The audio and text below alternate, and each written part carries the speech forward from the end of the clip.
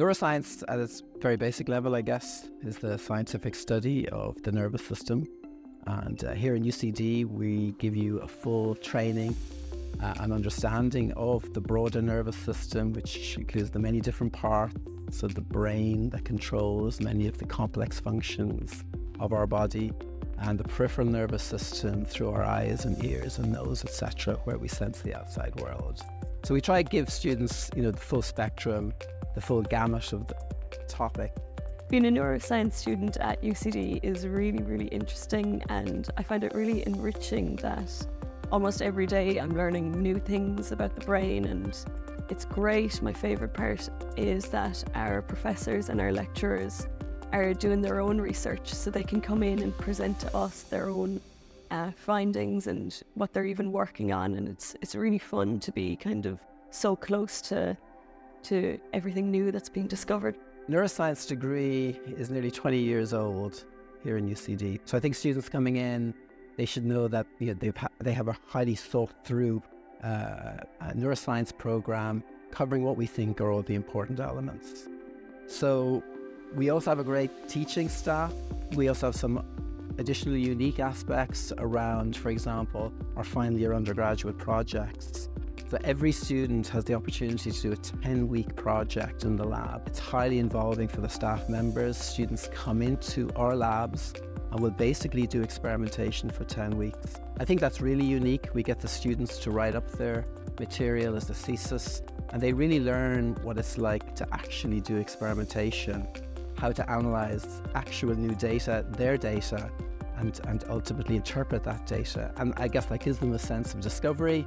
And ultimately, if, if a student can graduate with that sense that we know we've achieved uh, here in UCD, we're putting them out into the place, workplace as a burgeoning scientist.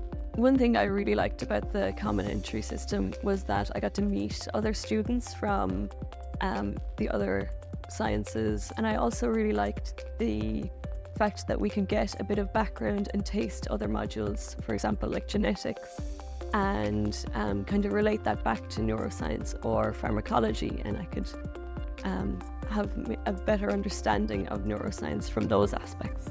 So when students come into UCD in years one and two, they're basically preparing for the neuroscience experience. So those first two years are extremely important because in those years, the students gain all the fundamentals, many different aspects of biology, some aspects of chemistry, a little bit of physics, maybe in the case of neuroscience, some mathematics in the case of statistics. Uh, but that's all preparing the students in years one and two for the full program. Now, in year two, Neuroscience also runs a Principles of Neuroscience module, so the students can really see early on if this is the type of subject they want to study. So the students will learn a lot of core neuroscience from the point of view of cell biology, the molecules involved, and how disease is implemented. We also teach students in year three the importance of drug interactions because, of course, we're always trying to think about curing uh, neurological disorders. And then in fourth year, it's really just uh, an advanced version of third year.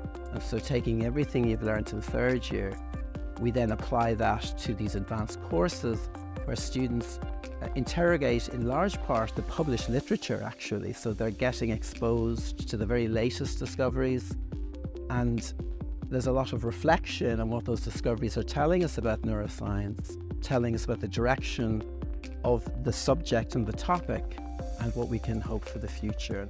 So the schedule each week is actually way more relaxed than I than I thought it would be. Um, usually around about 15 to 20 hours of lectures and labs and some tutorials as well, um, which is really good. You have the time to relax and you know to get immersed in the social aspect of, of college. In neuroscience, we're quite lucky to have some really great work placements for students. So, for example, we have uh, an affiliation with the Max Planck uh, Institute in Germany, where students can go and conduct their fourth year projects as part of the Erasmus program and really do high end research, which is directed at trying to understand the nervous system in the mouse brain. So, many of our graduates um, end up working in the pharmaceutical industry in drug development, for example, because of course they develop these great analytical skills in the lab and have a good understanding of the biological basis of the very things that these industries are trying to solve. Uh, also, our graduates go to clinical research settings, for example, hospital labs, or even forensics, again, taking advantage of the type of chemical knowledge that they have from their practical courses. We also have graduates who enter uh, science communication, things like patenting, some of the legal aspects. And of course, our graduates, quite a number, end up doing graduate research, so master's or PhD programs, which can set them on the track of becoming professors themselves in, in their later life.